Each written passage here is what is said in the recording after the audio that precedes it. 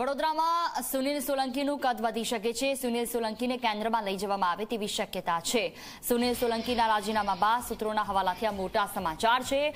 રાષ્ટ્રીય અનુસૂચિત જાતિ આયોગના ચેરમેનની જવાબદારી તેમને સોંપાઈ શકે છે.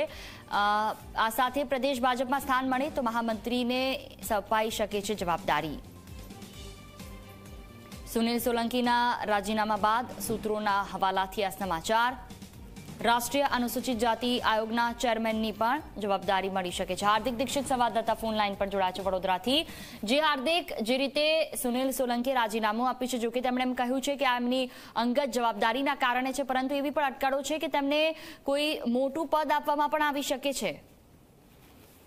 બિલકુલથી અટકળો એટલા માટે છે કે સુનિલ સોલંકી રાજીનામું આપતા પહેલા, બે દિવસ પહેલા તેમને દિલ્હીનું તેડું આવ્યું હતું.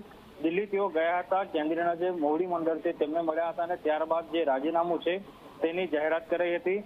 એક અઠવાડિયા પહેલા સુનિલ સોલંકીએ પોતાનું રાજીનામું આપી દીધું હતું. ત્યારે સૂત્રોના હવાલેથી મોટી ખબર આવી રહી છે. અત્યારની વાત કરવામાં આવે તો સુનિલ સોલંકીએ શહેર મહામંત્રી પદેથી રાજીનામું આપ્યું છે. ત્યારબાદ સુનિલ સોલંકીનું કદ જે છે તે વધવાની ચર્ચા જે છે અત્યારે ચાલી રહી છે.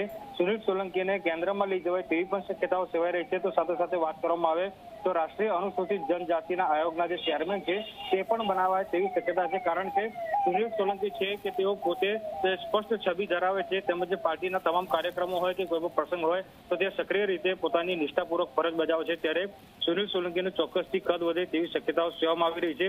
બીજી વાત કરવામાં આવે તો પ્રદેશ ભાજપમાં સ્થાન મળે તો સુનિલ સોલંકી જે છે તેમને મહામંત્રી પણ બનાવી શકાય તેવી શક્યતાઓ સેવાઈ રહી છે. હાલ સૂત્રોના હવાલે આ ખબર જે છે સામે આવી રહી છે. બિલકુલ, તમામ જાણકારી બદલ આભાર, હાર્દિક.